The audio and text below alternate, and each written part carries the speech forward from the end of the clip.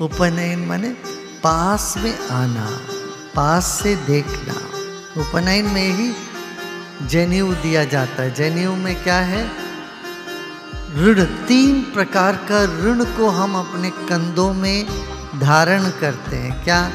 माता पिता का ऋण, भगवान और ज्ञान दिए हुए गुरु का ऋण, और समाज में का ऋण होता है हमारा। कुछ ये तीनों ऋणों को कंधों पर रखते यही उपनयन है। फिर मंत्रोपदेश होता क्या?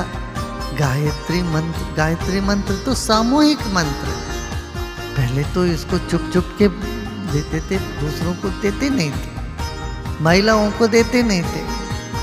कि गायत्री मंत्र कर ले तो महीना बड़ा शक्तिशाली हो जाए तो आदमी को मुश्किल हो जाएगा। महिलाएँ ज़्यादा बलशाली न हो, इस कारण से भी हो सकता पुरुषों ने इसको मना किया।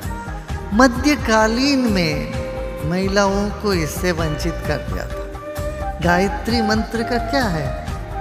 धियो योन प्रचोदय हम सबकी बुद्धि आपसे प्रेरित हो जाए।